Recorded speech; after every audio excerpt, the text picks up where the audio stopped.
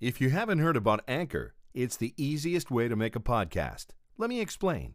It is free. There's creation tools that allow you to record and edit your podcast right from your phone or computer. Anchor will distribute your podcast for you so it can be heard on Spotify, Apple Podcast, and many more. You can make money from your podcast with no minimum listenership. It's everything you need to make a podcast all in one place. Download the free Anchor app or go to anchor.fm to get started. You are now listening to Discover Your Potential with renowned radio talk show host and certified holistic practitioner Cindy Gilman. So listen, participate, be inspired. Know that you can discover your potential. Here she is, Cindy Gilman. Welcome. Welcome on this wonderful autumn day. I love autumn. Autumn's my favorite time of year. It's almost as if the divine takes a big paintbrush and paints all of the leaves reds and oranges and yellow. It's just beautiful. So, if you're having a rough time, look outside, look at the leaves. It's so beautiful. Nature is wonderful. So, this is Cindy Gilman. And if you are a first time listener, I welcome you and I welcome our regular listeners. Uh, many of you know that I am a spiritual grief counselor, medium, and um, a certified energy practitioner. And I know lots of you need healing because I can feel my hands getting red already. But uh, I do want to mention if you're a first time listener, this program is all about you. It's geared toward you. It's geared to help you to discover your potential. And the guests that I bring on have gone through their own, what I call divine intervention, and gone from one area, whether it's their work, their location, a difficult situation, and something moves them into where they should be so that they can develop to their full potential. Um, I do want to mention that if you miss part of this program, or if you'd like somebody else to hear it, uh, it's made into a podcast, and they can go to www.wdyp for discovery Your Potential, talkradio.com. I also want to thank Doug and Don who uh, the entrepreneurs who founded and engineered this program. I don't know what I'd do without Don. With Doug, uh, Doug is he, he's he's my regular engineer and producer. Hi, Doug. Hi, everyone. Hi, Cindy. oh, you're so quiet today. Oh, that, are you in a very peaceful mood? I am. I'm in a oh, great good. place. I'm sorry? I said I'm in a great place. Thank you. You sound it. Oh yeah, lots lots getting done. It's an opportunity. I love these sorts of opportunities. The craziness just means there are opportunities elsewhere. And uh, mm-hmm. uh, we love it that way. So, and it's no different for us when the when the world is kind of uh, caged up. That's how I felt all my life, and I'm pretty mm-hmm. used to it. Well, we're going to talk about uh, in the last quarter of this program. We're going to talk about some of this week's events, uh, updates, and happenings. Um, but I want I always start this program by and I know you're going to love our guest because I love her. I know you're going to love her. Um, I always try to start out with reading something inspirational, and I think it goes along with our guest, who is not only a journalist but a survivor of thyroid cancer. Success begins with a single step. So that takes you as far as your determination and dedication want to go. And you will, my friend, if you remain strong and refuse to let any obstacles stand in your way of achieving your dreams. If you believe firmly in what you're doing and patiently keep taking those tiny steps, you'll get there and know the thrill of that that comes with meeting a challenge and winning. I believe it was Charles Swindoll who wrote the essay Attitude. The longer I live, the more I realize the impact of attitude. Attitude is so important. We can't change the fact that people will act in a certain way. We can't change the inevitable. The only thing we can do is play on the one string we have, and that is our attitude. And so I am convinced that life is 10% what happens to me and 90% how I react to it. And so it is with you. We are in, cha- in charge of our attitudes. And I think that really summarizes what my guest today has overcome and her journey. You ask, what is an artist? What is an artist? When I think of that word, so many images come to mind. So many different types of artists visual artists, writers, musical artists. And they all have a passion. They have a passion and a dream. An artist of any type should always follow their passion. Learn all you can to share it with the world and the lives of others you will touch. And through that, a great feeling of satisfaction will fill your soul. My guest today is an exceptional and talented woman. She's a Jersey girl. I don't mean wearing a jersey.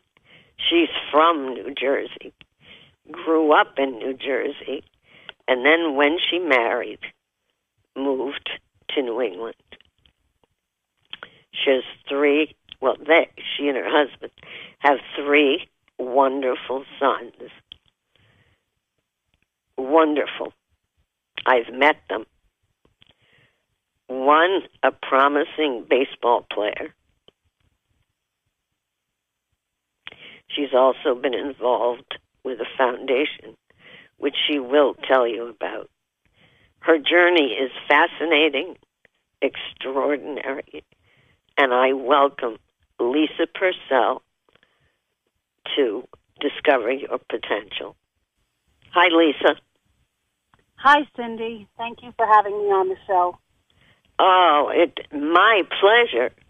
Um, you're a jur- you're a journalist and and a thyroid cancer survivor. Yes, that's right. So let's talk about the journey. Well, the journey, like most things in life, was unexpected. I was 36 years old, and I'm very diligent about going to have my routine physical. So I drove myself to my physician's office and had a normal physical, and then she spent some time touching my neck hmm at the time, I feel it's very important to let people know that my three sons were seven, six, and three years Oh. of age. hmm So to say I was quite busy would be an understatement.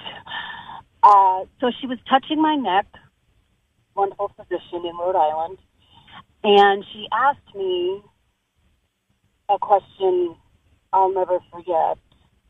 Simple question, but so meaningful to me now, such an impact. She said, Does this hurt? While she was touching a lump on the left side of my neck Mm. that I was not aware was even there.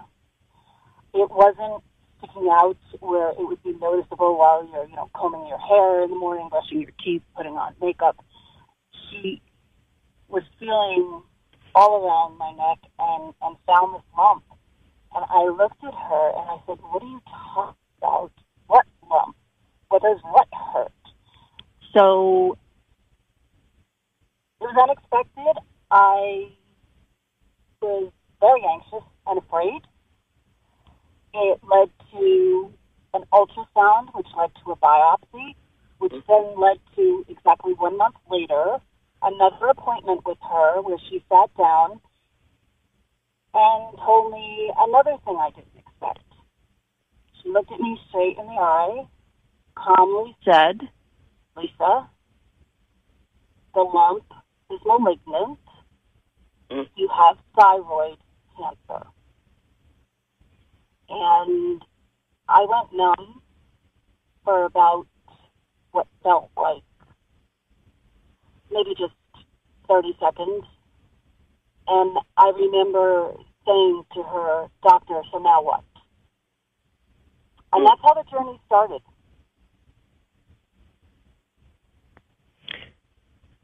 So Yep, how, can you how it started. move your head a bit so I can hear everything from your cell phone? Oh, sure. Good. Were you hearing all of that? Now I, can- I, I now I can hear you. Okay. So, did you miss all the other stuff? I'm sorry. No, I I heard it, but it kept going in and out. Oh, okay. Um, sorry about that. Uh, so, yes. So after she gave you that news, how did Mhm. you react? I was in shock. I was afraid. I'm very anxious. And then I suddenly said, What do we do now? And she said, I have to send you to a surgeon.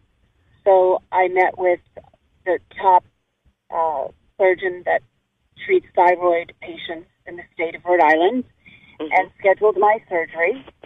And I was really, really scared because I had never had surgery before, major surgery where you need anesthesia.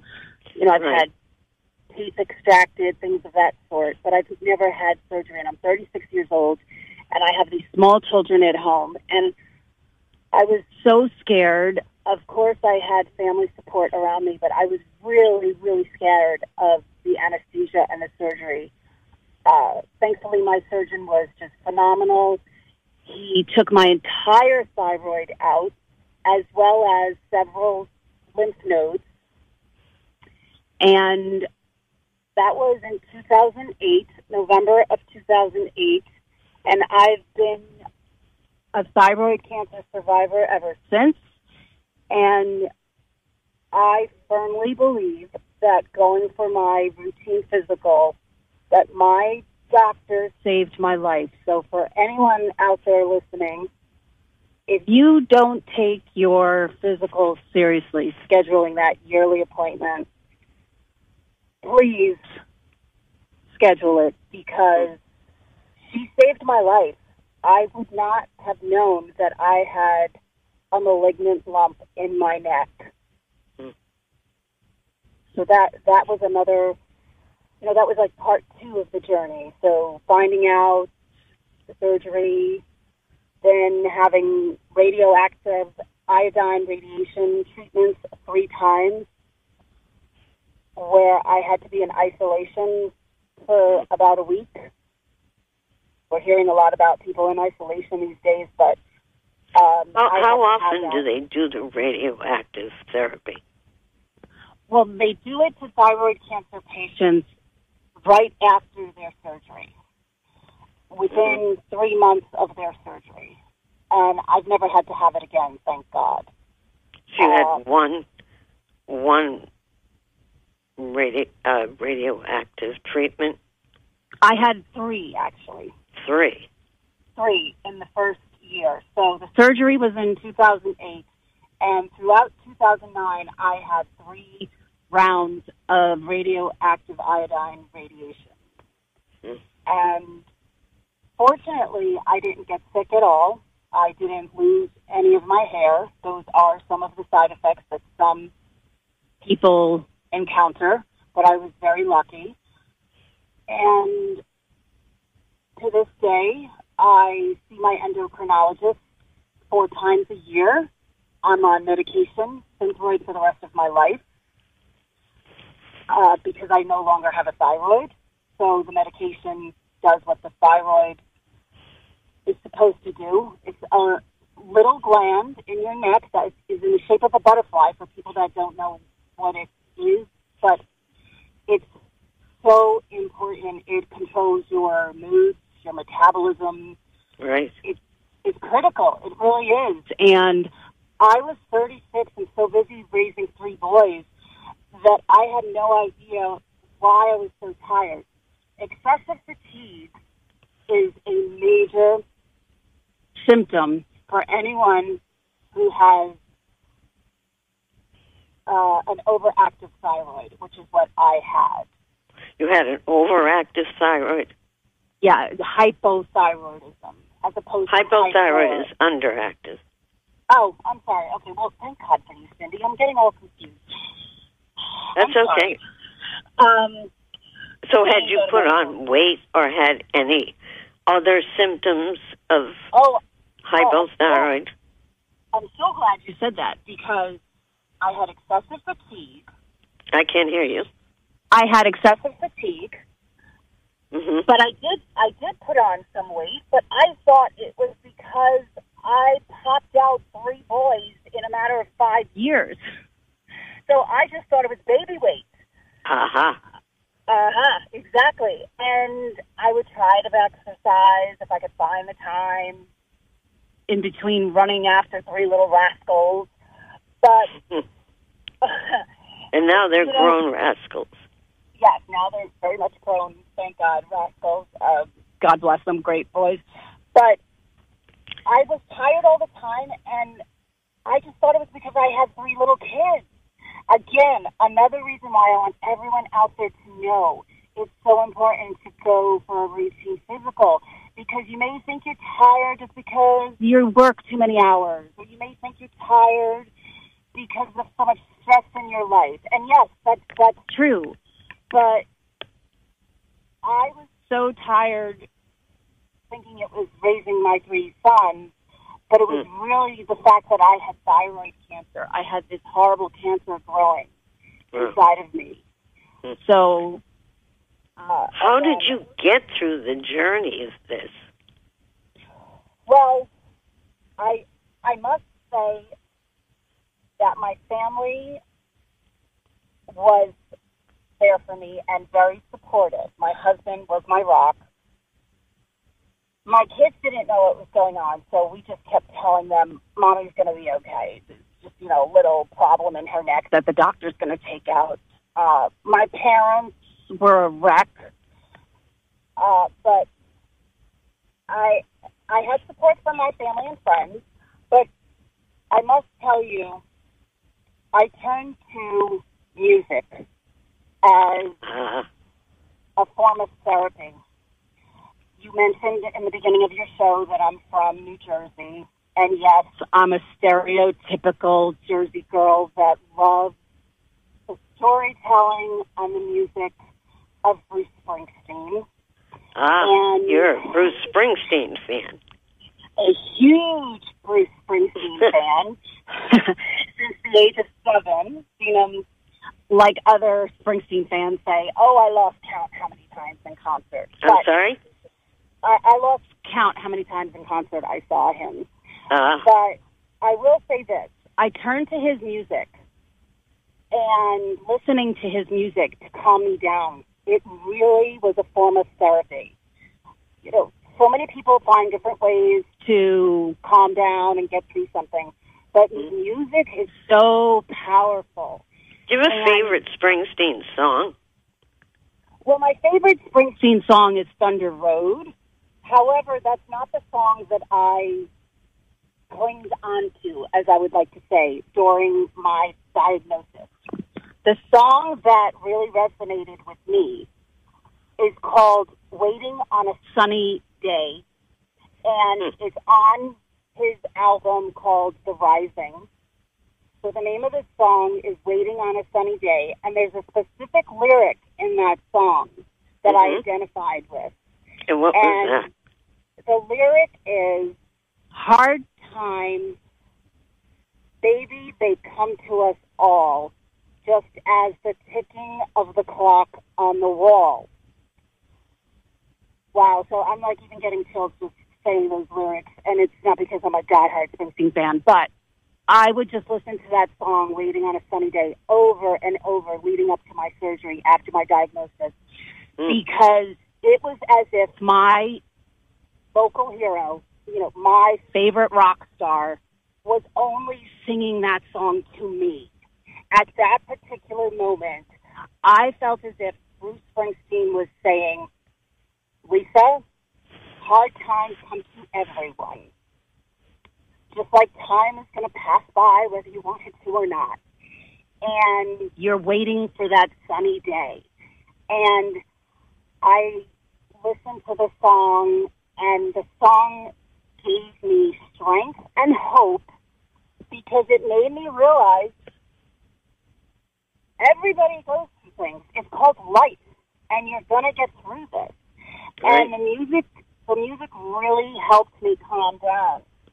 Uh, of course, I listened to other musicians as well, but I really identified with those lyrics. And then less than two years later, I had no idea that identifying with those lyrics would lead to so many different opportunities in my life, uh, in the career aspect and category of my life.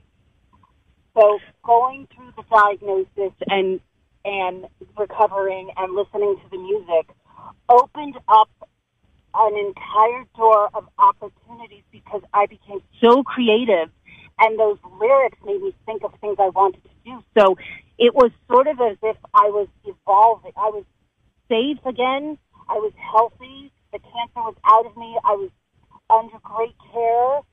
I was aware of thyroid cancer. I would tell all of my friends, please go to the doctor. Please have your thyroid checked. I had a whole different attitude. I knew how important it was to take care of yourself. But then listening to music would help me calm down and focus. And I realized I wanted to do something because that music helped me so much. So, do you think that was like divine intervention for you to move into something that was relating to music? I do think it was. Uh, do I think a hundred percent? No, but I do think it was a sign from above. It was someone sending me a message. You need to do something. There's a Mhm. reason why you wanted to do. Uh, there's a reason why you wanted to listen to that song over and over. There's a reason why you identified with those specific lyrics. So So, was this before you got into journalism?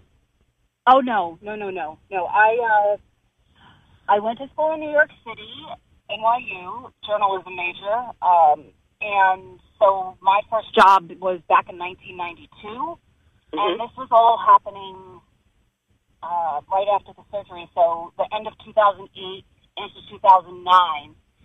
And I was very busy, obviously, with the kids. But what I decided to do when I had some time, I will tell you, it took me until 2012. But the idea, the, the inspiration happened in 2009 of course, you know, I had to have my priorities in check. I had to, you know, make sure the boys were fine, make sure my health was fine. And I didn't give up. I came up with this idea back in 2009, like, wow, I'm going to start a blog. And it's going to have every Springsteen song that I feel like writing about. and I'm not going to be a music critic because I'm not a music critic. But I am going to find lyrics in each song that I want to catalog. Obviously, as you know, is just probably over at this point 400 songs, maybe.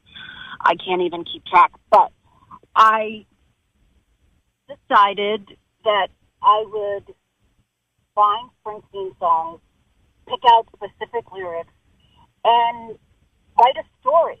Some of them were fictionalized, but most of them were real stories. So much so that I even interviewed people that were also Springsteen fans, and then they shared their story about how music helped them get through something. For example, my friend Debbie, her son served in the military and went to Afghanistan, and she said if not for Bruce's music, she and her husband wouldn't have been able to get through their son Jordan doing um, you know, a tour of duty in the Middle East. Mm.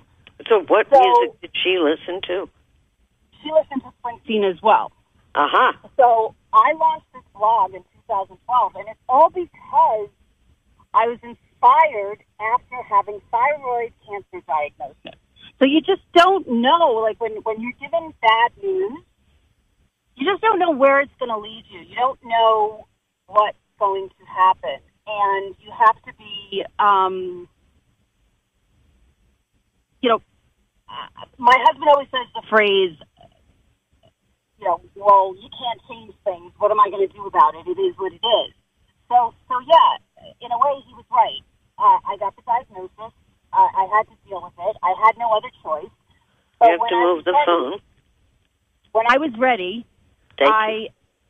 I, you know, I, um, I decided to launch the blog, and it was fantastic.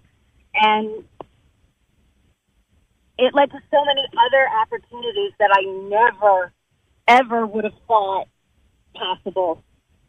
Uh, I can, if you want me to, I can share that. But uh, you know, I, I just did that lead you to that foundation that yes, you're involved it with?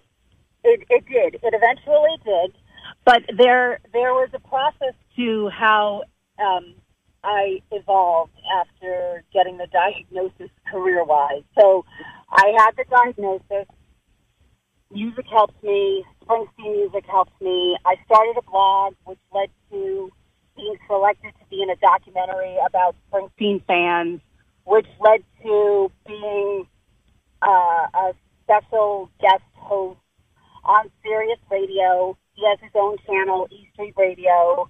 So I was still doing journalism related uh, things, which made me feel so great because I I was busy as a mom, but I felt like, wow, this is incredible. I'm being creative again, and this all happened because I turned to music after being diagnosed with thyroid cancer, and then just it just kept like evolving into even more amazing things after, so by 2015, I was the guest on E Street Radio. And then by 2016, I launched my own television show for Rhode Island PBS about how music helps people and can get people through tough times. What was the name of your TV show? The show was called Life and Lyrics. And what was what was the premise of the program? The the premise was uh, I wanted people to tell me what songs they identify with when they went through something, either something great in their life or something very difficult in their life. hmm And so I did that for two years. And if someone were to say to me, this is why I love the name of your show, Discover Your Potential. Thank you. I I just love it because if someone were to say to me in 2008, when I was busy, you know, at home, taking a break from working, that in 2016 I would be hosting and producing my own television show for Rhode Island PBS, I would have looked at them and said, "You're out of your mind. that that you're you're crazy. That that that'll never happen." Uh, I, will never be able to host and produce my own show because you know I wasn't in that mode. I wasn't thinking. Of course, that that was a dream come true, and it it did. It was a dream that I fulfilled. But if someone really said to me in 2008, I kid you not, like you're going to have a show someday because of this whole entire experience, I would have doubted them. I really would have been, unfortunately, I would have been cynical, and I would have said, "You don't know what you're talking about. That's never going to happen." So people really need to be open-minded. What you said in the beginning of your show about attitude, attitude Yes. everything. Attitude is oh my! I had to learn the hard way because, of course, I can be cynical, and I'm cynical still to this day, oftentimes. And I recognize it, and I don't like it, but attitude is a little thing that makes such a big difference. And your mindset and believing in yourself and not giving up and being resilient and being defiant. And when you believe in something, not to give up because believe me, for every step forward, I took about 10 steps back during the whole process of getting back into the business. And that that happens when we're going through a shift like that. Right. It, it certainly does. And then it led me to the most incredible thing, which is the Rock and Roll Forever Foundation that I uh, believe in and support. It's uh, it was created by Stevie Van Zandt, and everyone listening can make fun of me because, of course, he's a member of the E Street move the Band. phone again? Yeah, I'm sorry. He's a member of the E Street Band. Stevie Van Zandt is also in the Rock and Roll Hall of Fame. I'm sorry. He he's a, he's a, he's a member of the Rock and Roll Hall of Fame. Who is? Stephen Van Zandt. He's a member Uh-huh. of the E Street Band and a member of the Rock and Roll Hall of Fame. And he started the Rock and Roll Forever Foundation. And the idea behind the foundation is they have a curriculum called Teach Rock, and you can look it up, teachrock.org. And it's free to every school in the United States that wants to use it. Free lesson plans, all with national regulations. They've passed everything Common Core, every guide, guideline. And, what's it called again? teachrock.org. Steve is Rock. website. Teach teachrock.org. TeachRock.org. Yes, that's where you can find all of the lesson plans for free for for any teacher that's out there. And and, And he put is- that together.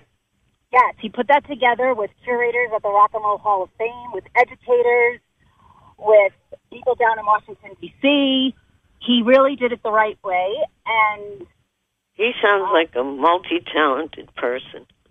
he's incredibly talented. You know, people know him as a member of the E Street Band, as I mentioned, and as a rock and roll, uh, a member of the Rock and Roll Hall of Fame. They also know him as an actor who was on The Sopranos. Also know him from a Netflix series called Lilyhammer. But Stevie Van Zandt truly believes that rock and roll changes people. That rock and roll can help educate kids. So he started this foundation and offers these free curriculums to middle school through high school age children. I pitched it to several schools in Rhode Island. Now I'm happy to say that some of the schools are actually teaching it. It's part of their curriculum. And Oh so, wow! And what a way to get get kids to enjoy learning and education. Right. So I did something really uh, crazy, and I I pushed boundaries. I wanted to test and challenge myself.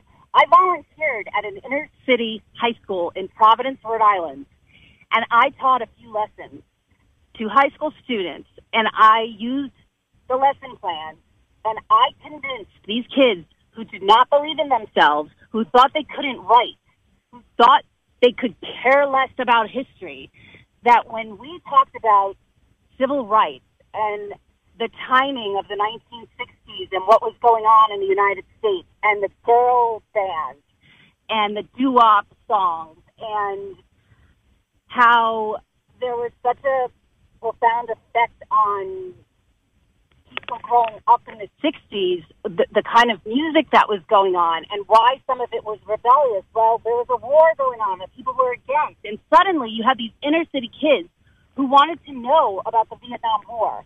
They didn't really know much about it. They could care less.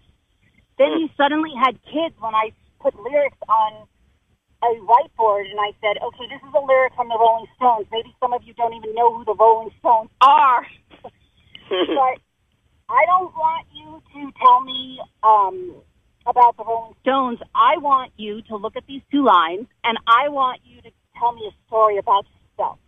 So that's what the Rock and Roll Forever Foundation tries to do. It tries to get kids to learn English, writing, history lessons through music, which goes back to my whole entire story and how I evolved because if not for that song that I listened to over and over and over again and those specific lyrics, I would have never thought of starting a blog, interviewing people, getting into a documentary about Springsteen fans, being a guest on a radio show, starting a TV show, getting back into the TV business when I thought, no way. So then again, that's why I love the name of your show, Discover Your Potential. I had no, I was discovering my potential at the old age of in my 40s, you know.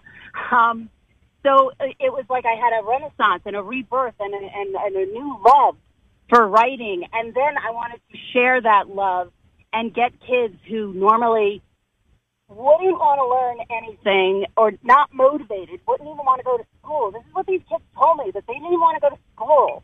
And I got them to listen to music and to want to know about the girl groups and the Rolling Stones and everything that was going on during the civil rights movement and the Beatles. And uh, then we even talked, we did a lesson on the 80s and we talked about Live Aid and, and what kind of effect it had on the entire world and, and mm. helping those starving in Ethiopia. Like these kids finally were opened up to real events that happened, and thanks to music. So Steven Van Zandt is right. Rock and roll is powerful, and it helped me through my thyroid diagnosis, and it it triggered and inspired me to get back in the game, as I like to say, to do more writing, more right producing. Doug, do we have a caller on the line? Oh, sorry. I'm sorry, Lisa. I thought we oh, had. No, no, no, no. Um, uh, so I just, I just uh, want everybody to know that, yeah, hard times they come to us all, just like that That's lyric. But your mindset and your attitude, and what you do with the cards that you're dealt. Uh, you never know because you could really make a difference in somebody's life. And I'm Absolutely. not I'm not patting myself on the back or tooting my own horn. I because I really do believe in the foundation, and I found out about the foundation, of course, by going to a Springsteen concert. But Mhm. and I didn't know this foundation even existed. I didn't know he started it. I didn't know he did all of this work and had real Now, are you doing- professionals. Are you doing any writing now? Oh yes, oh yeah. So, so I try to write at least three or four times a week, and I I love the word evolve because I think everybody should embrace that word. I think it has to do with potential, and I think that people need to know that you can do different things with your life take chances because during this journey that we call life, I believe we all evolve and we take a certain path and we have to take chances. And so I now am so motivated and I write all the time. I finished the show, producing the show after two and a half years. Right. And what I type of writing are you doing now? Right now, I'm doing screenwriting because it's something that I had never done, and I wanted to learn how to screenwrite, and I wanted to try to write a television, two-hour television show, or a two-hour show for Netflix, or a two-hour movie for the big screen. If we ever get back to movie theaters, and I do believe I'm being positive that we We will need get to back be to the yes, we will get back to a new normal. We will not get back to normal. I'm aware So of now, that. do you have a collaborator in in this writing venture, or Yes, I, I do have a collaborator that was willing to take me on because he knew that I had writing experience, but only Mhm. journalism experience, you know, news writing. And it's been a fantastic um, collaboration. And we just started uh, earlier this year before the COVID crisis. and who, And- who's your collaborator? Uh, his name is Jon Land. He's uh, a published author. He's won Yes, several. Jon, Jon was a guest on this program. I know he was. Yes, he was indeed. He did mention that to me. Jon's a fantastic individual, wonderful, wonderful mentor to me and collaborator.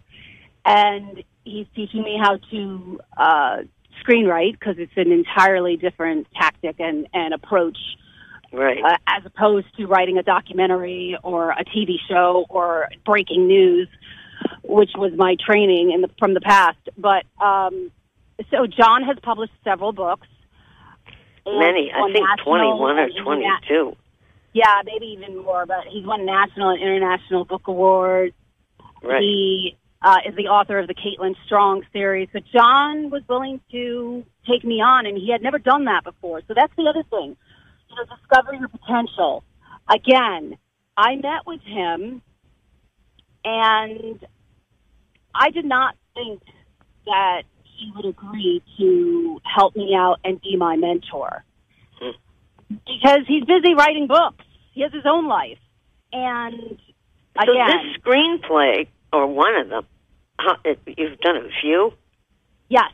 Uh, we are trying to polish up a fourth, but Do you have a particular, a particular uh, star you have in mind to play one of the characters? well, of course. I, you know, again, May I ask whom? Yeah, of course. Yeah, your listeners can tease me, but I one of the scripts I specifically told Jon that the key one of the key roles I had in mind. I was writing it thinking Stevie Van Zandt would play one of the key roles because Aha. I. so all Who is the, the founder of the foundation? And, right? All right, so if anybody out there knows Stevie Van Dam, they need to get in touch with Lisa.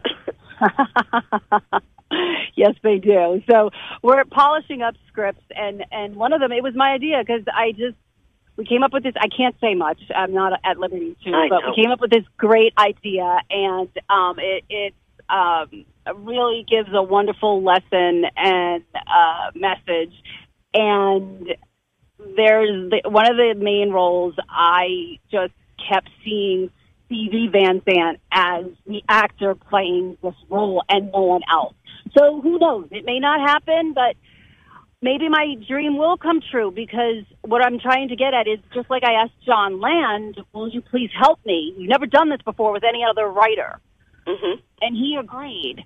I'm going to try to go after getting Stevie Van Zandt to at least read the screenplay. I, I have to share something with you. Yes.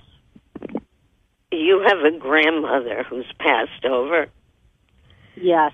Yes. Who- Both both my First of grandmothers. most recently, She's yes. speaking Italian. But she just nodded her head. Yes, we can get him. Aw, I love that. I'm gonna cry. I love that.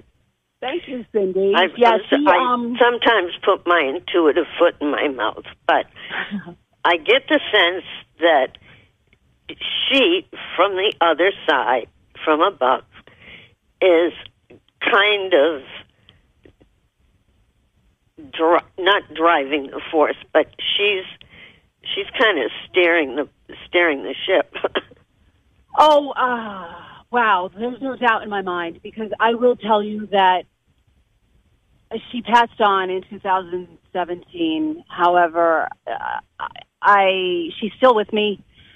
She yes, she is. she was an incredible woman that only spoke Italian. So you're right there. Okay, she's definitely not speaking English. she only knew how to say bad She words. speaks with an it, an unusual dialect. Yes, uh, Neapolitan, which is very difficult to understand. Uh, only, well, like most of my family says, only Neapolitans understand each other. It's, it's a whole different language. Uh, but Nonna, She's holding a big tray of food. Oh, because she cooked all the time and worked in a pizzeria and always wanted to feed people, and there was never enough food on the table. I grew up so Italian, where there was just never, you know, you can't make I enough love food. it. You can't. I love it too. It was amazing. She left me all of her recipes, which is another gift that she left me. She she was an incredible woman, and I think of her every day. And I know she's watching over me, and I know um, that if she can pull any strings, ha ha ha, music reference. Um, She is laughing, and she just showed me several strings. If You know, I believe that all of us, all of us, are connected through, with one one big string. That all people are connected. Oh, I, I. I, I firmly believe that, and uh, whether they're here, whether they've transitioned to the other side, we're Mhm. all connected. Most definitely. And it's important, I feel, to talk to those that you are close to that have passed on and gone to the other side because that's also where I get some strength as well. I think of wonderful times with people in my family that have have left us. And Mm. I recently lost my godfather, my uncle Charlie, and he just always made me laugh. Thank you. He just he he just was so he was you know he was the clown of the family i'd like to say. He he just had that comedic way about him. Uh you'd ask him where are you going uncle charlie? And he'd look at you and say i'm going to chicago. Where are you going? You are And going just ten you minutes away. shared with me that your father-in-law, Mhm. who is how old, he will be seventy three next month in november and he is a survivor of the COVID virus. uh yes he is He Yeah, went through so- a journey of his own. Wow, boy, did he. Um, yeah, so I am not doing this intentionally. Uh, it just brings my mind to a whole different way of thinking because my father-in-law is a walking miracle. He unfortunately got the virus in March, was on a ventilator Mm. for nearly six weeks everything that could possibly go wrong went wrong. He had to be on dialysis for his kidneys. He actually had there was cardiac arrest. They brought him back. Mm. He uh, had a collapsed lung. He had to have a tracheotomy. This virus is for real. So That's if right. anyone is even doubting, Doubting. it, um, it's real. He came up to Rhode Island. He spends his time half in Florida, half in Rhode Island. He came up to Rhode Island. He had an important meeting, and um, we don't know how he got it, but he got it.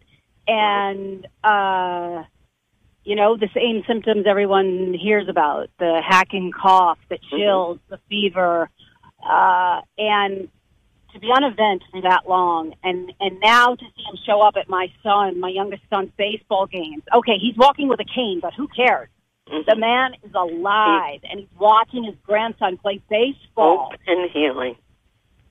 yeah Lisa, And thank you so much for sharing Thank this time you. with us.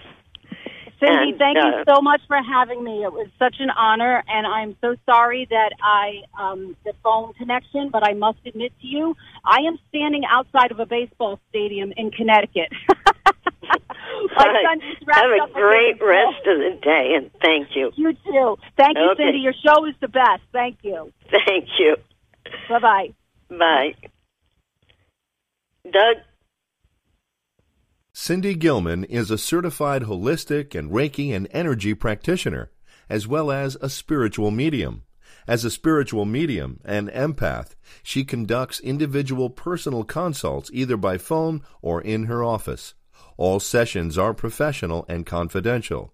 For a phone consultation or in office appointment, go to www.cindygilman.com or call 401 885 4115. and so what a wonderful guest. Let me remind you, um, you know, I wanted to talk about what was going on in the last few weeks. Initially, uh, when I was thinking about what to say this week, I wanted to talk about the passing of Ruth Bader Ginsburg, who was such an inspiration, an incredible woman. And I just found out that someone who I had met and interviewed a number of years ago when I was on a regular AM station, Helen Reddy, uh, also passed on. And I, I got to meet with her, talk with her, interviewed her, and she was very sympathetic to holistic work and extrasensory perception. But I want to take just a few minutes because this has been a very difficult time. It's affected everybody in some way.